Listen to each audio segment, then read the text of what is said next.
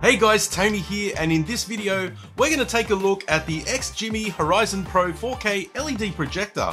And I'd like to thank XGIMI for sending it in to me for review. There are some features on this projector that I think you'll find very impressive, especially as this projector does fall onto the budget end of the market. So in the box we have the projector, a Bluetooth remote which needs two AAA batteries, a decently big power brick, and a power cable as well as the user manuals. On the back of the projector we have the power port, an optical out, two USB ports, two HDMI ports, an ethernet port, and a 3.5mm audio jack. Taking a look at the projector itself, it's quite small for what it is, weighing in at 2.5 kilograms and is only 209mm wide by 218mm deep and 136mm tall, and has a stylish dark metallic chassis. There is a 1 quarter inch thread underneath as you can see here, and it's perfect for hanging either from the ceiling if you wanted to hang it upside down, or you could put it onto a camera tripod, which is what I've done for this video. Moving to the specs, we have a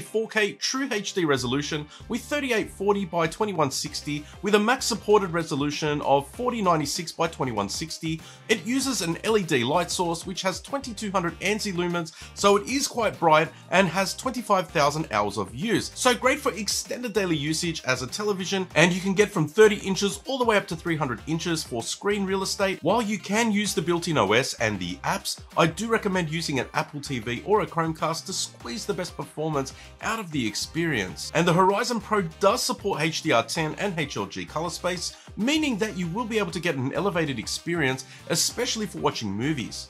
The built-in Netflix app on the Horizon Pro doesn't work, which is similar to a lot of other projectors as well, which is why I do recommend using a streaming box if you want to be able to get the most out of it. I think that this projector is designed as an all-in-one home entertainment device, which you can play games, watch TV shows or movies, and with the high brightness of 2200 ANSI lumens paired with an ALR screen, you should be able to use it in most situations. The Horizon Pro 4K has some very cool AI features, and that includes what I think is an incredible feat in technology and the first time I've ever experienced it on a projector and that is an auto zoom, keystone and focus. You can simply find the best place in your room for the projector, aim it at the screen and let the projector find the borders of your screen, scan for any obstacles and then auto adjust the image using the mechanical and optical zoom to get it to the borders and match it perfectly. You can then use the manual keystone just to nudge it to the edges if it doesn't quite find them perfectly. I know I often say not to keystone but this projector doesn't seem to lose any sharpness at all, and that has to do with the optical zoom via the built-in lenses. I think I had a little bit too much fun playing with this feature, and I was very impressed with how quickly and accurately it lined the image to the screen. So for the image, we have a true 4K image which can play back native 4K content with HDR support, and there is the XView technology which uses the AI engine to detect the brightness of the room, as well as noise reduction, color control, and enhanced clarity. The image looks great in both light and dark environments, but I think that they have done a great job making it a plug and play device that will just work without a lot of manual calibration. So like in some of the other projectors I've tested, we do have MEMC or frame interpolation options on the Horizon Pro 4K to allow for any loss of frames from the source to be compensated by adding additional frames to fill in the gaps. I don't like it to be too heavy or you do get the soap opera effect, but I found that the implementation was pretty decent and I only had it on weak. There is also a gaming mode which reduces the input lag to 35 milliseconds and I will say that it's not too bad for car racing sims, but I think it is still a little bit laggy for first person shooters. I don't use a projector to game much as I'm a PC gamer, so my main focus with the Horizon Pro 4K is the movie watching performance. So as this is a bright projector, I wanted to test out the HDR performance and I will say that it is quite impressive for the specs. Unfortunately, there are not really many calibration controls, so I was unable to tweak the settings using my calibration sensor, but I do think that they have done a really good job out of the box with the color science. At least for my eyes, the reds do look pretty natural, and the colors are accurate and vibrant and evenly saturated. There are a few brightness modes that you can use. You can leave it on AI mode, or you can choose from the different modes to suit your environment. I found leaving it on auto was actually pretty decent. So as a home theater guy, you know that I'm going to recommend using a discrete speaker setup, but if you don't and you wanted to use the Horizon Pro as your speakers as well, they are no slouch with two 8 watt speakers, Harman Kardon, and they do support DTS and Dolby Digital sound. The only issue that I have with speakers inside a projector placed at the rear is that the sounds don't come from the front of the screen, but they are powerful enough for you to use as a TV if you don't have any speakers.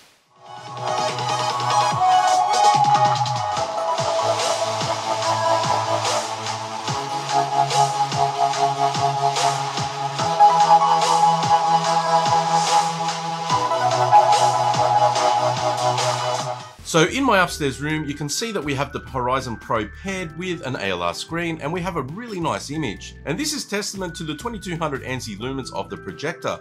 You can still see that it is quite vibrant and colourful, even though it is rejecting some ambient light. I also like how easy it is to install. I can pretty much place the projector anywhere in the room and it will just find the screen and adjust the image to fit it without all that extra time spent trying to line it up manually. This is probably the biggest selling point of this projector, it's a very fuss-free and easy to install device.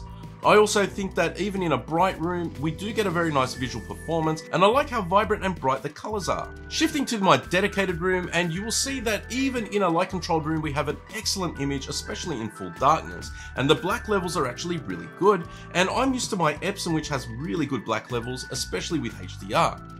The HDR performance of this projector is nice as well, showing off how vibrant the image can look, and from a device this small, it's packed with a lot of features that I think the average home theater enthusiast will really enjoy.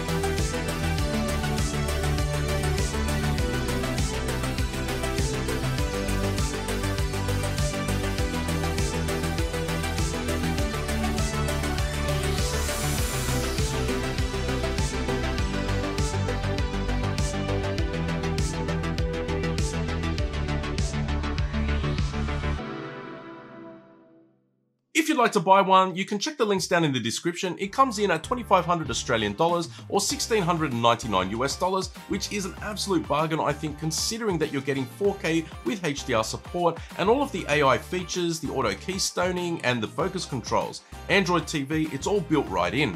I think it's a great choice if you're after an affordable 4K projector for your home theater or living room. You can project right onto the wall, although I do recommend that getting a screen will give you the best possible performance. I'd like to thank XGIMI for sending it in for review, and if you enjoyed the video and found it helpful, make sure that you smash the like button for me and consider subscribing to see my future videos.